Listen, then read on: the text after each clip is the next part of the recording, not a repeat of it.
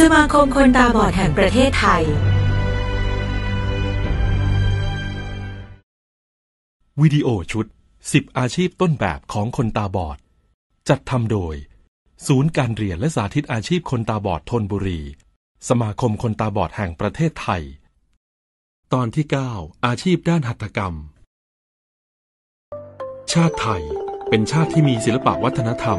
มีประวัติความเป็นมาที่ยาวนาน โดยปรากฏเป็นหลักฐานบนโบราณวัตถุ และศิลปกรรมที่เป็นงานประณีตศิลป์จำนวนมาก รวมทั้งงานหัตถกรรมพื้นบ้านของคนไทย หัตถกรรม คือสิ่งที่สร้างขึ้นด้วยฝีมือมนุษย์ หรือกระบวนการผลิตสิ่งของด้วยมือ ที่ใช้แรงงานฝีมือเป็นปัจจัยสำคัญในการผลิต เพื่อการใช้ประโยชน์ในครัวเรือน รวมทั้งการพัฒนาเครื่องมือเครื่องใช้ในการผลิต เพื่อสนองความจำเป็นพื้นฐานในการดำเนินชีวิตประจำวัน โดยอาศัยแรงงานจากมือของตนเอง ดัดแปลงวัตถุดิบที่มีอยู่ในธรรมชาติใกล้ตัว เพื่อให้เกิดงานฝีมือที่ใช้ประโยชน์ได้อย่างเหมาะสมในการดำรงชีวิต หัตถกรรม งานฝีมือ สะท้อนวิถีไทยในแต่ละยุค สร้างเอกลักษณ์ประจำชาติ สืบทอดเป็นมรดกทางวัฒนธรรม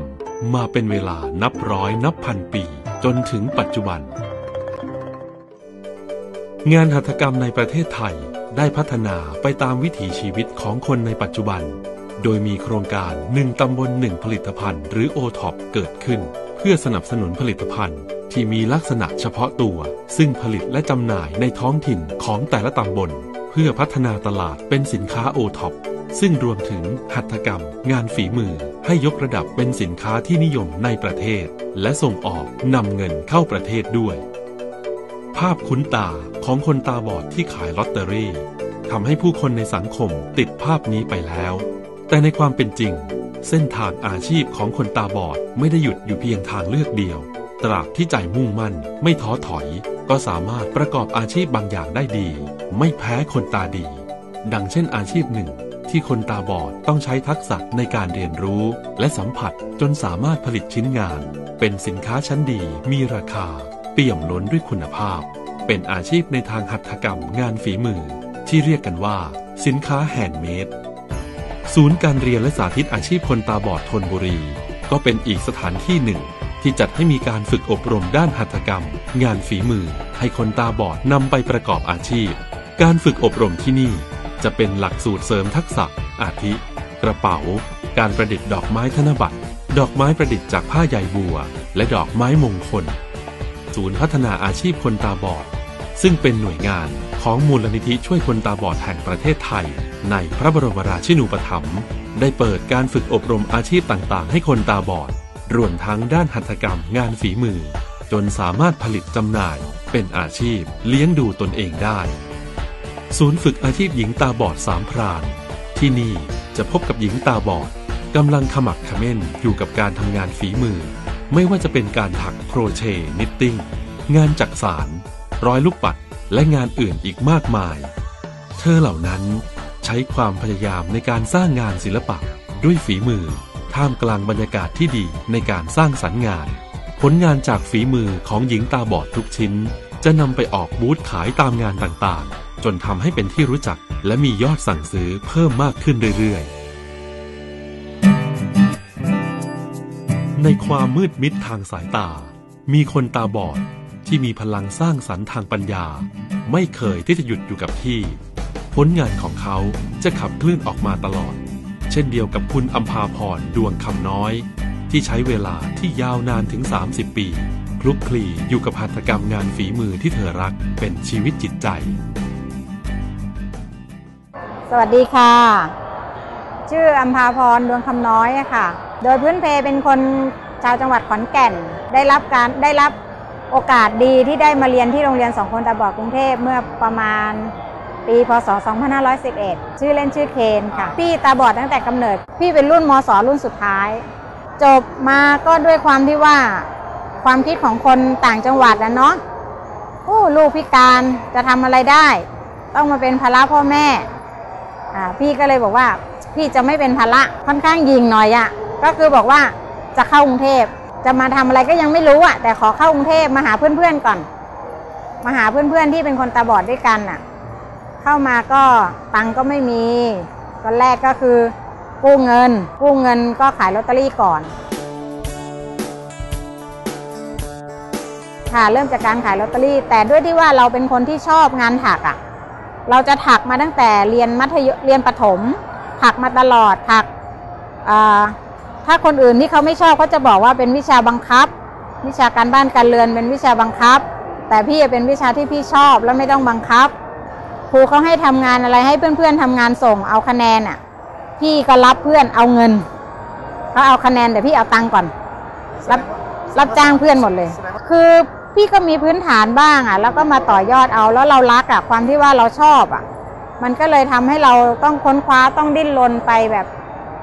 ไม่ไม่มีที่สิ้นสุดงานพวกนี้ขายลอตเตอรี่อยู่ประมาณสองสามปีอะค่ะ ขายไปด้วยนั่งถักไปด้วย วางแผงลอตเตอรี่ข้างหน้าเนี่ยแล้วก็นั่งถักมั่ง ร้อยลูกปัดมั่ง เอาวางขายกับแผงลอตเตอรี่ด้วย ถักไปเพราะบอกว่าไม่อยากนั่งเฉยๆตอนแรกคิดว่าไม่นั่งเฉยๆแล้วมันเราเอาวางขายแล้วมันขายได้ด้วยไงลอตเตอรี่ก็ขายได้งานฝีมือเราเราก็ขายได้ มันก็เริ่มพี่เดินขาย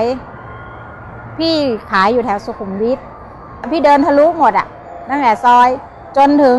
คลองเตยเพชรบุรีตัดใหม่อะไรอย่างเงี้ยแต่แต่เดินทะลุหมด รู้ทุกซอย ซอยสมิติเวชซอยนานาเดินหมดพอตอนเย็นก็จะมานั่งแถวพระพรหมพี่จะสะพายสองอย่างแผงลอตเตอรี่กับกระเป๋างานไปคู่กันถามว่าพี่ชอบขายลอตเตอรี่ไหมพี่ไม่ชอบ แต่ว่ามันเป็นอะไรที่พี่รู้สึกว่ามันได้ตังไวสิบห้าวันสิบห้าวัน แล้วก็ด้วยความที่ว่าเราจะหาทุนไงหาทุนเพื่อมาเป็นไปซื้อไหมซื้ออะไรเงี้ยก็เริ่มเริ่มสะสมไปเรื่อยๆอาจากห้องเช่าก็เต็มไปด้วยไหมเงี้ยมีแต่ไหมมีแต่อุปกรณ์ทั้งหมดเลยค่ะก็เลยก็ลอตเตอรี่ก็ค่อยๆ ลดลงลดลงเรื่อยก็มาเพิ่มงานไหมจนกระทั่งงานไหมได้ได้เต็มที่อะค่ะศักยภาพของงานตรงนี้เหรอ พี่ขอไม่ว่าจะตาดีตาบอดนะ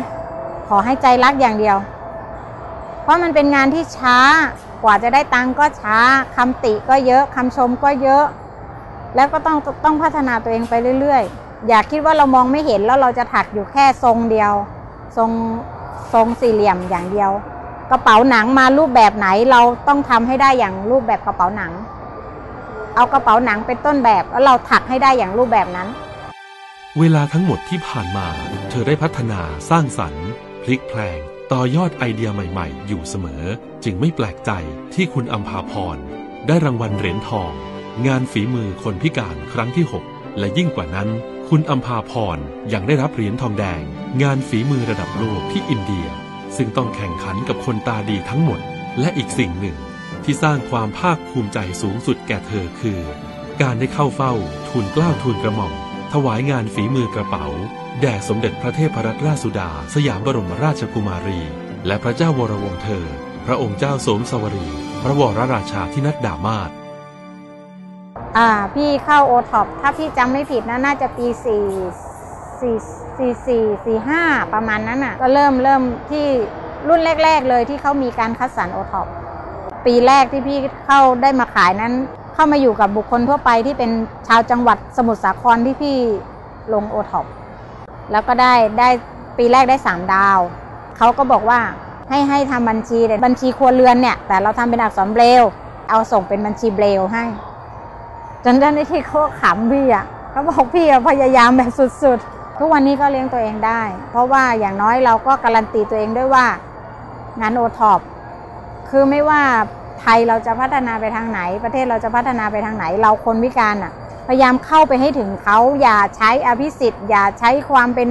คนพิการ อย่าใช้อะไรที่มันนอกเหนือจากคนอื่นอะ ให้ไปตามเขาตามสเต็ปของเขาแล้วเราจะไปอย่างภูมิใจ ฝันให้ไกลแล้วไปให้ถึง ถึงแม้มันจะไปแบบใช้เวลานาน เท่าไหร่ก็ขอให้ไปให้ถึงอะถ้าเราไปถึงอย่างน้อยยังไม่มีคำชมจากคนอื่น เราชมตัวเองก่อน แล้วกำลังใจจะเกิด เออเราก็ทำได้ ถึงแม้เราจะขาดส่วนใดส่วนหนึ่งของร่างกายไปเราก็ทำได้ อยากให้กำลังใจกับทุกคนคือไม่อยากให้ท้อ กว่าจะมาถึงตรงเนี้ย ตกหลุมตกท้องร่องตกอะไรมาสารพัดขาพิกขาแพงกว่าจะถึงจุดนี้ก็ นานใช้เวลานานแต่ก็ภูมิใจ โลกแห่งหัตถกรรมงานฝีมือของคนตาบอดนั้น ถึงแม้ผู้ประกอบอาชีพนี้จะมีพลังใจสร้างสรรค์งานแค่ไหน แต่ช่องทางในการจำหน่ายผลงานของเขาก็ยังไม่เปิดกว้างเท่าที่ควร หากทุกฝ่ายช่วยกันผลักดัน สนับสนุนงานหัตถกรรมดีๆ จากคนตาบอดที่มีฝีมือทั้งหลาย ก็จะเป็นแรงเสริมให้พวกเขามีกำลังใจสร้างสรรค์งานหัตถกรรม สืบทอดมรดกทางวัฒนธรรมของคนไทยต่อไป ความฝันของพี่ในวิชาชีพตรงนี้เนาะจะจะถามว่าพอไหม พี่ก็บอกว่าพี่พอเพียง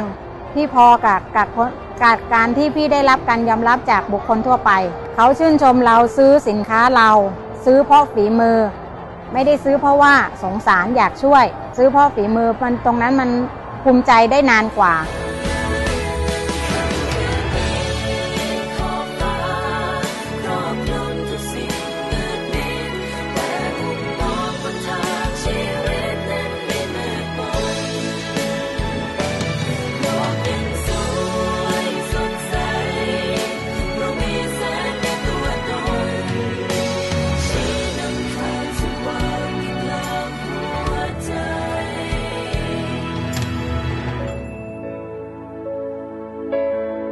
คนตาบอด ขอโอกาสที่เท่าเทียมกันในสังคม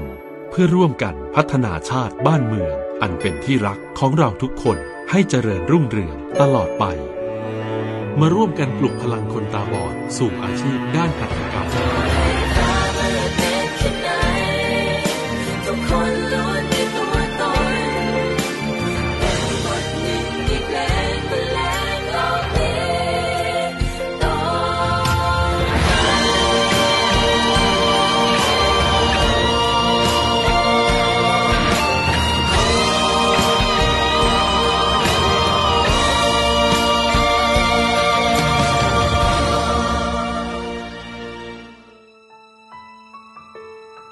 ขอขอบคุณ กองทุนส่งเสริมและพัฒนาคุณภาพชีวิตคนพิการ สำนักงานส่งเสริมและพัฒนาคุณภาพชีวิตคนพิการแห่งชาติ กระทรวงการพัฒนาสังคมและความมั่นคงของมนุษย์ คุณอัมพาพรดวงคำน้อย วิดีโอชุด 10 อาชีพต้นแบบของคนตาบอด ประกอบด้วย ตอนที่ 1 อาชีพหมอนวดแผนไทย ตอนที่ 2 อาชีพจำหน่ายสลากกินแบ่งรัฐบาลตอนที่ 3 อาชีพนักดนตรี ตอนที่ 4 อาชีพนักพยากรณ์ดวงชะตา ตอนที่ 5 อาชีพเจ้าหน้าที่ปฏิบัติงานทางโทรศัพท์ ตอนที่ 6 อาชีพนักจัดรายการวิทยุ ตอนที่ 7 อาชีพครู อาจารย์ ตอนที่ 8 อาชีพด้านธุรกิจขายตรง ตอนที่ 9 อาชีพด้านหัตถกรรม ตอนที่ 10 อาชีพด้านเกษตรกรรม จัดทำโดย ศูนย์การเรียนและสาธิตอาชีพคนตาบอดทนบุรี 61 ทับ 32 ถึง 41 ซอยจรันสนิทวง 11 ถนนจรันสนิทวง แขวงวัดท่าพระ เขตบางกอกใหญ่ กรุงเทพ 10600 โทรศัพท์ 02 412 1380ถึง2